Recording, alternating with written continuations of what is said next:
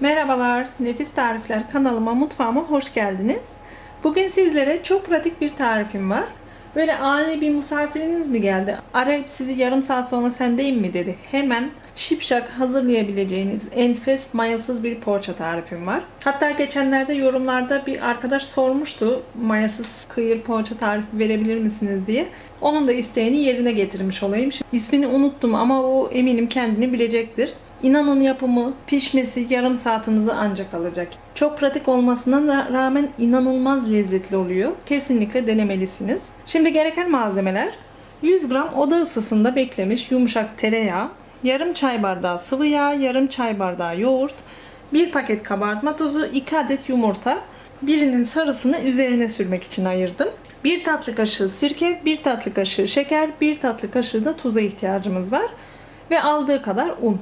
Şimdi yapılışına geçelim isterseniz. Yoğurma kabıma 1 tatlı kaşığı şekerimi koydum. 1 tatlı kaşığı da tuz.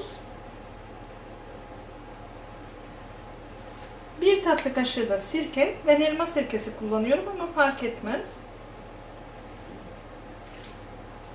Yumurtamı ekliyorum.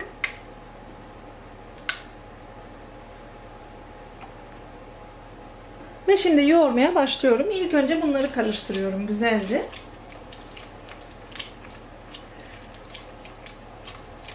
Tereyağı yerine dilerseniz margarin de kullanabilirsiniz. Hani evde ne tüketiyorsanız onu değerlendirin. Ama benim tercihim her zaman tereyağından yana.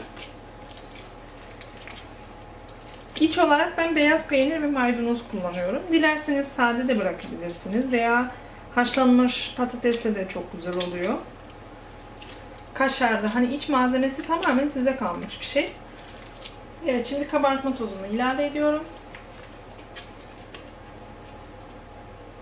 Ve yavaş yavaş unumu ilave ediyorum. Yumuşak ele yapışmayan bir hamur elde etmemiz lazım. Un miktarını veremeyeceğim çünkü hem göz kararı yapıyorum hem her un farklı oluyor. Yoğurt miktarı vesaire içerisine girdiği için miktarlar biraz oynayabiliyor ama inanın yapımı zor değil. Kendiniz de çok rahat bir şekilde anlayabilirsiniz kıvamını. Ele yapışmaması gerekiyor. Mesela şu esnada hala olmamış yani. Bunu acemi arkadaşlarımız için söylüyorum tabii ki. Daha rahat anlamaları için. Ve kesinlikle unu birden eklemeyin. Hiçbir zaman, hiçbir tarifte. Çünkü yoksa hamuru toparlamanız çok zor olur. Her zaman için yavaş yavaş azar azar ekleyin. Biraz ekleyin, yoğurun, tekrar biraz ekleyin gerek olursa. Mesela şu an benim hamurum elime yapışmaz oldu. Baya baya ama şu an benim için çok çok yumuşak, çok aşırı yumuşak kıvamı. O yüzden biraz daha ilave edeceğim.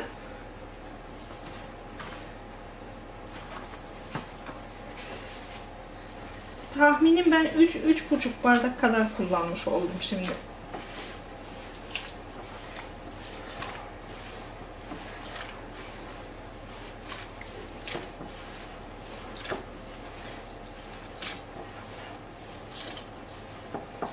Evet, benim hamurum oldu artık. Gördüğünüz gibi kabıma da yapışmıyor. Elime de yapışmıyor. Gayet yumuşak bir hamur.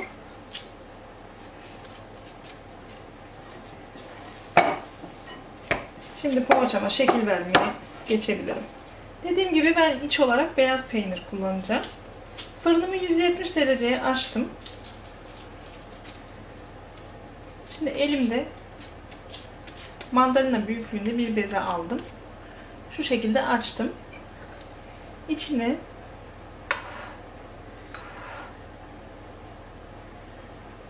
biraz beyaz peynir koydum. Kapatıyorum.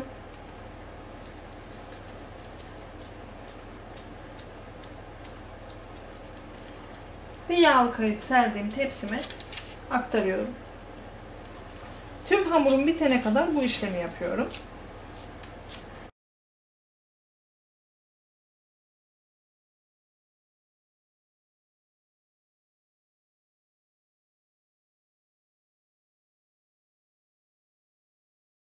Poğaçalarım hazır. Şimdi üzerlerine ayırdığım yumurta sarısından süreceğim.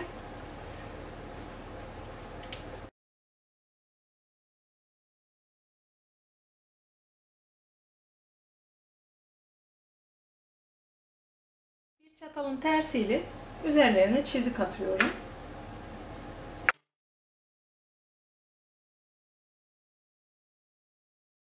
Şimdi 170 derece önceden ısıttığım fırına veriyorum. Güzelce alt üstü kızarana kadar pişiriyorum.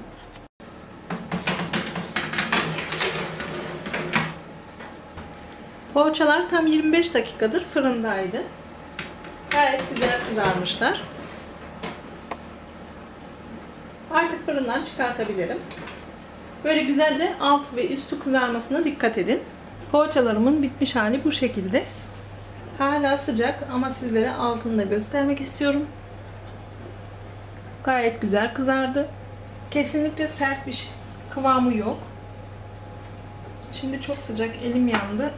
Bölemiyorum ama inanın hafif kıyır, içi ise yumuşak bir dokuda. Kesinlikle denemelisiniz ve gördüğünüz gibi pişmesi de gayet hızlı. Hemen şipşak hazırlayabileceğiniz bir tarif. Gönül rahatlığıyla deneyebilirsiniz. Umarım bu tarifimi de beğenerek izlemişsinizdir. Yorum ve beğenilerinizi bekliyorum ve henüz kanalıma abone değilseniz abone olabilirsiniz. Bugünlük benden bu kadar. Bir dahaki tarifimde, bir dahaki videomda görüşmek dileğiyle diyorum. Hoşçakalın.